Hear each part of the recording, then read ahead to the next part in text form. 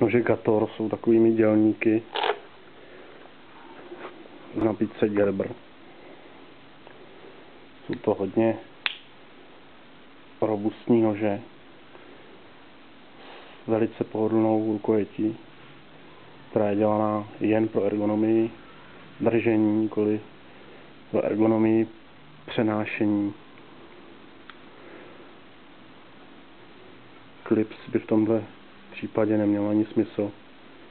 Byste měli bouli na kapse, takže k tomu pouzdro.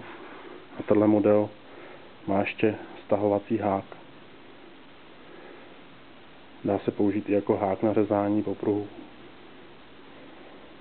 Možná i vhodnější použití.